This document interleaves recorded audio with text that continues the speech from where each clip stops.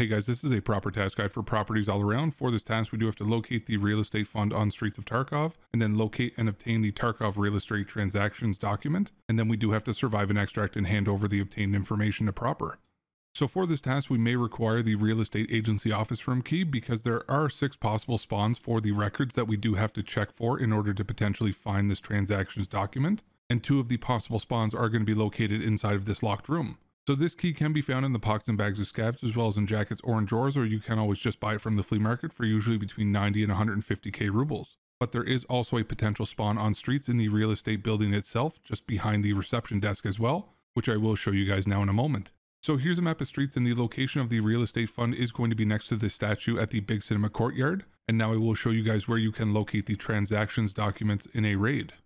So my PMC is here on streets and this is where the car extract is. The statue is going to be right here and then just more to my right is where the big cinema is located. So if I turn around a little bit more to the right, then the real estate agency office is this large building with the house image and initials on the left of the title. So as we go into the building, then you will firstly want to check behind the reception desk, as I did mention earlier, for the potential spawn of the real estate agency office room key. So if it did spawn in, then it will be inside this key rack just behind the desk. However, it is not a 100% spawn rate.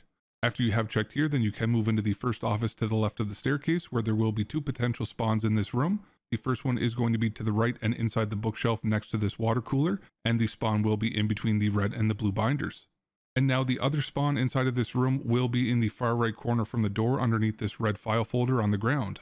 After we have checked both of these locations, then we are going to be heading up the staircase to the second floor, and then the first door on our left is going to be locked, but if you do have the REA key, which is just the abbreviation for the real estate agency office room key, then we can use it here to unlock this door. Now inside of this locked room, then there are going to be two more spawns to the right side of this room on the first bookshelf on top of the horizontally stacked books. And then the other spawn in here will be in the bookshelf on this side closest to the windows in between the horizontally stacked books and the bookshelf itself, and it will be next to this blue waste bin.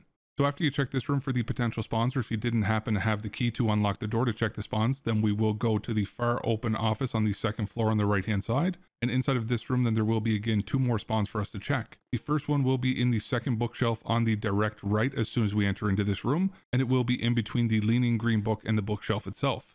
And then the sixth and final spawn will be on the opposite side of the room where there will be two small bookshelves over on this side and it will be in the top compartment of the left side beside the books just next to the calendar. After you have found the record, then you will have to survive an extract from a raid to be able to hand this item over to Prapor, but if you do happen to die in between finding the item and extracting, then you will have to come back to streets in order to find this item all over again. So hopefully you guys did find this guide useful and it did help you to complete this task. Thank you all so much for choosing my video to watch for this task, and I greatly appreciate you all, and I hope that you have a fantastic rest of your day. So what you're seeing on the screen right now is just a couple of my different social links in case you guys wanted to connect more easily. I am primarily streaming on Twitch now multiple nights a week. So if you do want to connect with me or my community, that would probably be the easiest way to do so. And if you do come over to the Twitch and you want to join the Discord community, then just type exclamation point Discord or Cord in the chat in order to get an invite link. And if you don't use Twitch, then I do have a link in the picture as well as a link below in the description. And we are growing and currently have an active and welcoming community with people of all experience and skill levels. So there will always be someone who could help to answer any questions that you may have. As always, thank you guys so much for stopping by and watching the video, and I hope that you have a fantastic rest of your day.